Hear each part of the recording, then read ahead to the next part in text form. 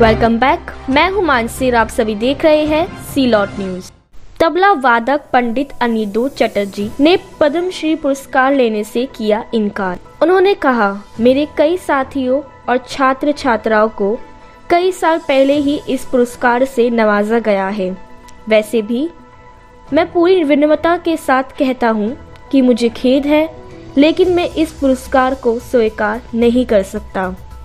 साथ ही साथ उन्होंने बताया कि करियर के इस पड़ाव पर वह इस पुरस्कार को लेने के लिए तैयार नहीं है। हाल ही में बीएसएफ ने नाव एंबुलेंस सर्विस को उड़ीसा में प्रक्षेपण किया, जिसके तहत करीबन तीस हज़ार लोगों को फ़ायदा मिलेगा। यह एंबुलेंस उड़ीसा के पिछड़े इलाकों में मेडिकल सर्विस देने में मददगारी साबित होगी। इसी के साथ ही साथ इस बोर्ड में ऑक्सीजन सपोर्ट सिस्टम है। और इमरजेंसी में काम आने वाली चीज़ें भी है। साथ ही साथ, इसमें मेडिकल स्टाफ भी रहेगा। गुजरात से आई एक अनोखी खबर। गुजरात के सूरत के एक खमन बेचने वाले को पेटा इंडिया द्वारा लोगों को मांझा या न्योन के तार के उपयोग को रोकने की पहल के लिए एक पुरस्कार से नवाजा गया। जी हाँ जिससे कई पक्षियों की जान भी बची है।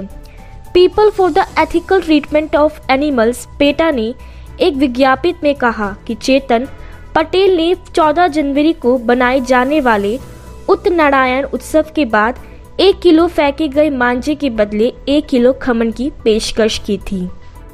मिरर नाव की ताज़ा खबर के अनुसार गूगल के मुख्य कार्यकारी अधिकारी यानी सीईओ सुंदर पिचाई के साथ साथ गूगल मुंबई के पाँच अन्य लोगों पर कथित कॉपीराइट अधिनियम के मामले में एफआईआर दर्ज कराई गई है। फ़िल्म निर्माता सुनील दर्शन ने कॉपीराइट मुद्दे पर अदालत का दरवाज़ा खटखटाया था, जिस पर मुंबई कोर्ट ने पहली सूचना रिपोर्ट यानी एफआईआर का आदेश दिया। सुंदर पिचाई को हाल ही में पद्म भूषण से नवाजा गया है, वही सुनील दर्शन फ़िल्म निर्माता है। उनका कहना है कि फ़िल्म के कंटेंट पर इनका कोई अधिकार नहीं है, उसके बावजूद भी इसे गूगल और यूट्यूब के प्लेटफॉर्म पर इस्तेमाल किया जा रहा है। आइए जानते हैं अब क्या है कोविड अपडेट्स बीते 24 घंटे में दो पॉइंट छियासी लाख से अधिक मामले, पाँच सौ तिरासी की मौत और तीन लाख से अधिक लोगों की हुई स्वास्थ्य में सुधार। देश दुनिया की तमाम खबरें जानने के लिए बने रहिए सीलॉट न्यूज़ के साथ।